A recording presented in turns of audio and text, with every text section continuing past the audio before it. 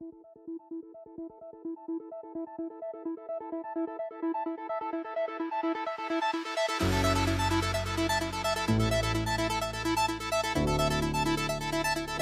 let's go to Sweden guys.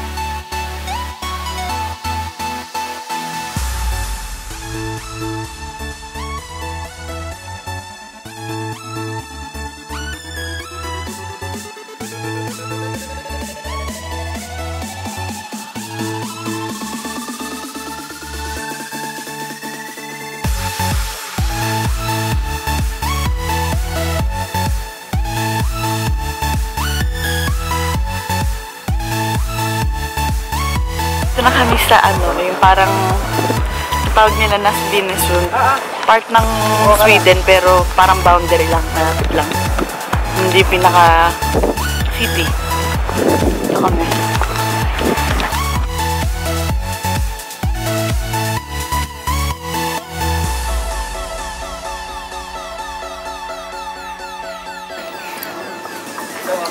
Mm. Kita.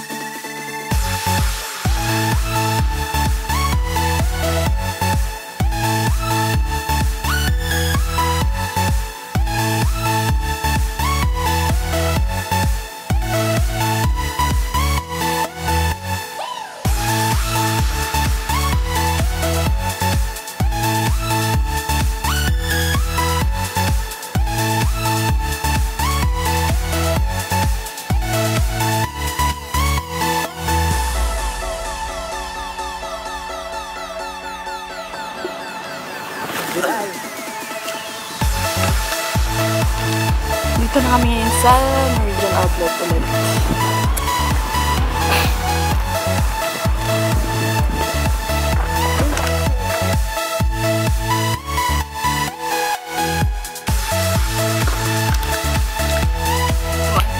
Outlet kanina pa ako umuwi. So, stuff. I got few stuff from Ah, actually, dalawa lang. Shoes. This is pang uwi.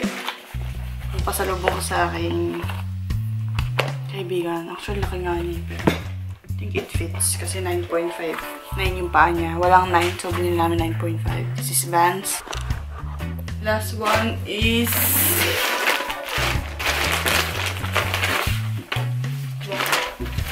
Shorts. Actually, hindi ako nagbayad dito si daddy. Na pang swimming kasi on sale lahat ng swimming shorts pang mga bikini and all that. Pero itong Woods of Norina shorts, this is only for 99 pounds. Sobrang ganda niya. Na right. That's all, guys. Hi, guys. So, tinadrag yung shorts. And this is how it looks like. Yo. Hindi ka na hindi magkasya. Magkasya. And I'm sucking on a bread. Para siyang ano yung dough niya is parang croissant. Tapos sa ano, gitna niya is meron siyang egg and ham bits. Sarap. Sarap, sarap,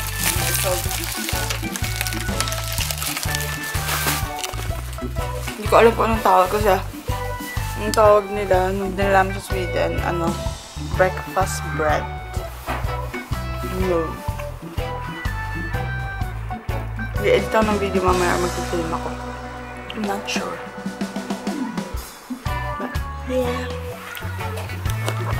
Ganda ng araw ngayon. Good.